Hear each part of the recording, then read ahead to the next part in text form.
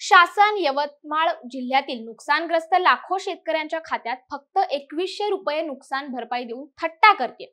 नुकसानग्रस्तांना मोठ्या प्रमाणात पीक विमा मिळाला नाही त्यामुळे पंधरा दिवसात पीक विमा कंपन्यांवर गुन्हे दाखल करा. अन्यथा कृषी अधीक्षक कार्यालयात उपोषण करणार असल्याचा इशारा शिवसेना तालुका प्रमुख संजय रंगे यांनी पत्रकार परिषदेत दिलाय. प्रधानमंत्री पीक विमा योजनेमध्ये यवतमाळ जिल्ह्यातील आठ लाख पंचेचाळीस हजार शेतकऱ्यांनी खरीप हंगामात पीक विमा काढलाय. त्यासाठी शासनाने विमा कंपनीला पाचशे नऊ कोटी अकरा लाखांचा विमा हप्ता दिला. रब्बी हंगामात सुद्धा दोन लाख शेतकऱ्यांनी पीक विमा काढला होता. मात्र बहुतांश शेतकऱ्यांना अद्यापही विम्याचा लाभ मिळाला नाही त्यामुळे ठाकरे गट आक्रमक झालेला पाहायला मिळतोय. वर्षी पीक विमा योजना यामध्ये जे नुकसान झालं.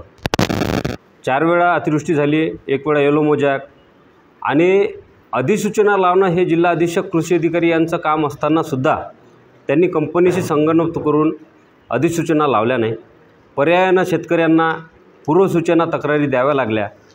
त्यामध्ये बी अनेकदा वेबसाईट बंद ठेवली. अशा परिस्थितीतनी दहा लाख विमाधारक असताना फक्त सहा लाख तेवीस हजार नऊशे एकव्या एक्याण्णव लोकांनीच फक्त तक्रारी दाखल करू शकले.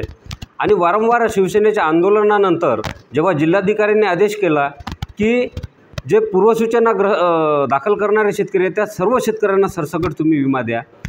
यानंतर कंपनी आयुक्ताकडे गेली अपिलात शासनाकडे अपिलात गेली परंतु शासनानं सुद्धा जिल्हाधिकाऱ्यांचा नि निर्णय कायम ठेवल्यावर सुद्धा कंपनी विमा भरपाई देत नाही.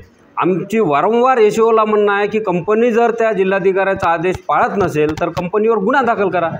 परंतु एसओ गुन्हा दाखल करण्यास तयार नाही. आणि आमचं असं म्हणणं आहे आज आता एसओ म्हणत होते की एक लाख अठ्ठ्याण्णव हजार शेतकऱ्यांना पुन्हा आम्ही दावे मंजूर केले. परंतु त्रेचाळीस कोटी सहासष्ट लाख भागीला एक लाख अठ्ठ्याण्णव हजार जर केले तर फक्त एकवीसशे रुपये त्या शेतकऱ्यांना मिळत आहे. हे कोणते दावे? माझं असं म्हणणं आहे की सहा लाख तेवी तेवीस हजार जे शेतकरी आहे ज्यांनी पूर्वसूचना दिल्या त्यांना जोखमीनुसार विमा भरपाई द्या. जोपर्यंत तुम्ही ही विमा भरपाई देणार नाही आणि ज्या शेतकऱ्यांना तुम्ही विमा भरपाई भरपाई दिली त्यांच्या सर्व याद्या आम्हाला मिळणार नाही तोपर्यंत आम्ही त्यांचा पाठपुरावा करू आणि निश्चितच त्या शेतकऱ्यांना न्याय मिळवून देऊ.